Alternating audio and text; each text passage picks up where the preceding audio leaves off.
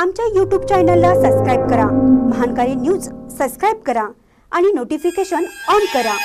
Notification on केल्यामुळे आमचे update आपल्यापर्यंत सतत पोहोचेल. देवळे येथे अपघात. एक जण ठार अकरा जखमी.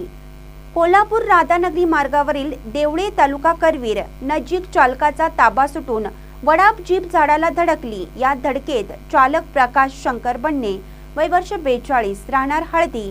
तालुका करवीर हा जागीच ठार झाला आहे. तर अकरा प्रवासी जखमी झाले आहेत. प्रकाश पडणे हा कमांडर जीपमधून एम एच दहा के झिरो दोन त्रेसष्ट कोल्हापूर ते भोगावती मार्गावर वडा वाहतूक करीत होता. दिवाळी नजीक गाडीच्या समोरील बाजूस असणाऱ्या संरक्षण गार्डवर असणारी स्टेपनी तुटून गाडी खाली आली.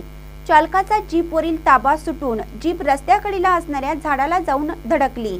यामध्ये मयुरी शिवाजी धनवडे वय वर्ष एकवीस शिवाजी चंद्रकांत धनवडे वय वर्ष बत्तीस राहणार पुगाव तालुका राधानगरी.